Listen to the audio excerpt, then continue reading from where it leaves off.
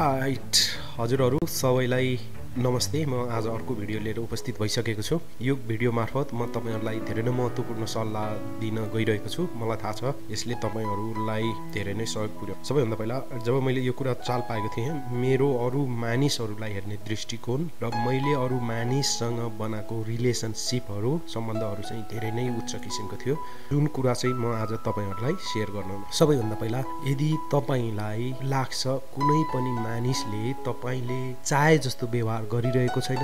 चाहे त्यो तपाईँको छोरा होस् चाहे तपाईँको श्रीमती होस् चाहे जोसुकै मानिस होस् र तपाईँ यो कुराले धेरै नै चिन्तित धेरै नै परेसानी हुनुहुन्छ भने यो भिडियो हेर्दै गर्नुहोला।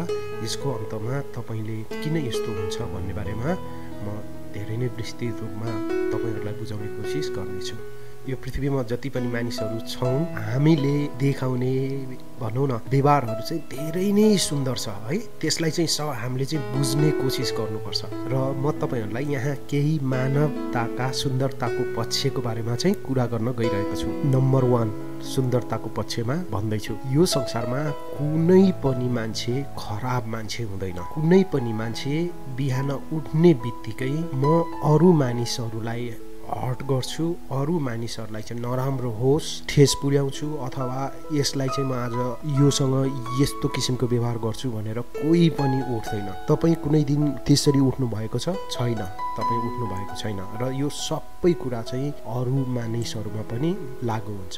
मैले भन्नु खोजेको कुरा के हो भने यो संसारमा हामी जति पनि मान्छे छौँ हामीहरू कोही पनि खराब मान्छे छैन। खराब छ त हाम्रो असहयोगी व्यवहारहरू अनि हाम्रो बानीहरू अनि हामीले गर्ने कार्यहरू त्यो चाहिँ खराब हुन जान्छ। जसले गर्दा चाहिँ हामी मान्छेलाई नै खराब भन्न थाल्छ र जब तपाईँले मानिसलाई त्यो कुराहरू नबुझी यो मान्छे खराब छ भनेर भन्न थाल्नुहुन्छ तपाईँ र त्यो मानिसको रिलेसनसिप कहिले पनि माथि जा सक्दैन। तपाईँले जुन कुरालाई चाहिँ तपाईँले हटाउनु पर्ने हो जुन कुराको चाहिँ तपाईँले फिक्स गर्नुपर्ने हो त्यो कुरा तपाईँले फिक्स नगरेर जब तपाईँले मानिसहरूलाई दोष दिनुहुन्छ र ती मानिसहरू तपाईँसँग टाढिँदै टाढिँदै जान्छन्। अथवा यदि तपाईँको यो केस तपाईँको श्रीमती तपाईँको छोराछोरीमा लागु हुन्छ भने उनीहरूले जहिले पनि सोच्न थाल्छन् कि यो यस्तै हो यो जहिले पनि यस्तो गर्छ भनेर बिस्तारै बिस्तारै तपाईँहरूको भ्यालु पनि उनीहरूले गर्दैनन् र गरेर साध्य पनि हुँदैन।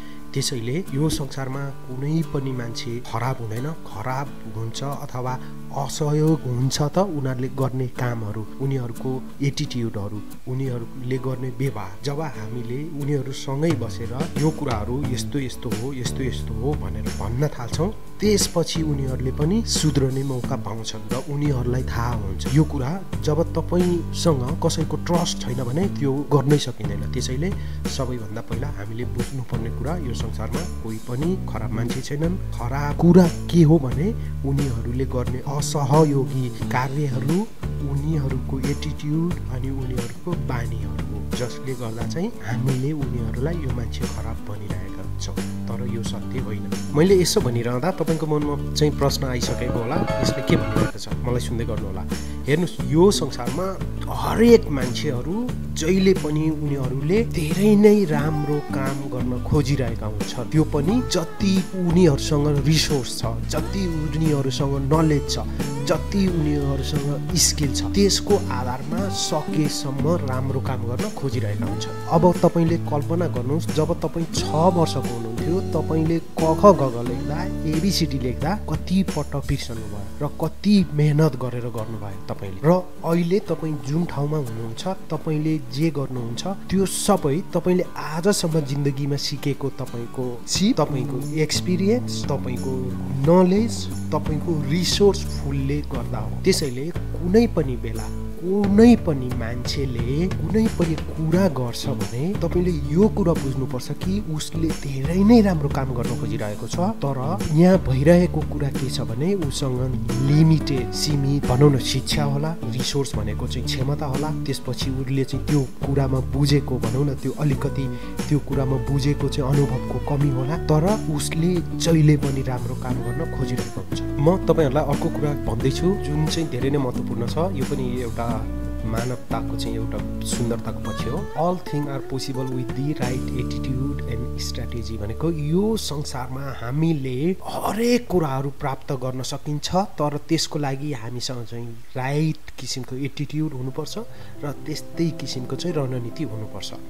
मैले यो कुरा किन भनिरहेको छु भने जब तपाईँले कुनै पनि कुरा गर्न चाहनुहुन्छ त्यो नगरुन्जेलसँग यो चाहिँ असम्भव जस्तो लाग्छ कल्पना गर्नुहोस् त।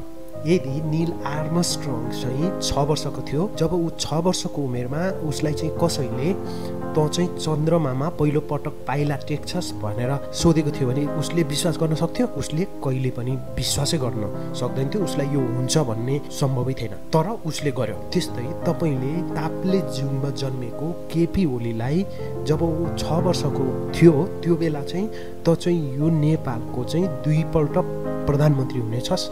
भनेर कसैले भनेको भए उसले पत्याउँथ्यो अथवा उसलाई चाहिँ विश्वास लाग्थ्यो? अवश्य उसलाई विश्वास लाग्दैन थियो। उसले त्यो छ वर्षमा उसलाई त्यो केही आइडियै थिएन। तर ऊ दुईपटक प्रधानमन्त्री भयो। यहाँ मैले भन्न खोजेको कुराहरू के हो भने यो संसारमा हरेक कुराहरू जब हामीले आफूले आफूलाई विश्वास गरेर सक्षम बनाएर त्यही कुराको लागि हामी जब अगाडि बढ्छौँ हामीले जुन कुरा पनि प्राप्त गर्न सक्दछौँ। त्यसैले तपाईँले यो कुरा बुझ्नुपर्छ कि यो संसारमा असम्भव भनेको कुरा केही पनि छैन। जब तपाईँले कुनै पनि कुरा चाहिँ असम्भव छ भनेर भन्नुहुन्छ त्यति बेला तपाईँले अलरेडी तपाईँले चाहिँ त्यो पोसिबल भन्ने जुन शब्द सक्सेस भन्ने जुन शब्दबाट आफूलाई चाहिँ डिफ्रेन्चासाइज गरिसक्नुभयो।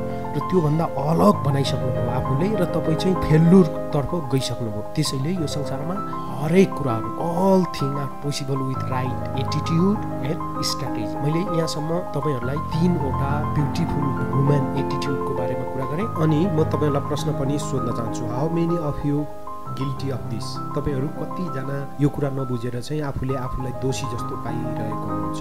How many time you have tear yourself down and beat yourself अथवा तपाईँको आफ्नो सङ्गतमा तपाईँको आफ्नो रिलेसनसिपमा भएको मानिसहरूलाई यो कुरा नबुझेर उनीहरूलाई कतिचोटि तपाईँले चाहिँ नराम्रो दृष्टिकोणले हेर्नुभएको छ र तपाईँको अहिले करेन्ट सिचुएसन तपाईँको के भइरहेको छ? यदि कुनै पनि व्यक्तिभित्र अन्तरात्माभित्र तपाईँ बसेर त्यो कुराहरू बुझ्न सक्नुहुन्छ भने उनीहरूले तपाईँलाई के सोचिरहेको होला अथवा तपाईँले यस्तै कु व्यवहार चाहिँ अरूले तपाईँमाथि गरेको छ भने तपाईँले के सोचिरहनु भएको होला? What I really want to say never ever beat and tear down yourself because everything we do in life is always takes careful plan मैले आज यो भिडियो मार्फत हजुरहरूलाई तिनवटा ब्युटिफुल ह्युमन एटिट्युडको बारेमा कुरा गरेँ।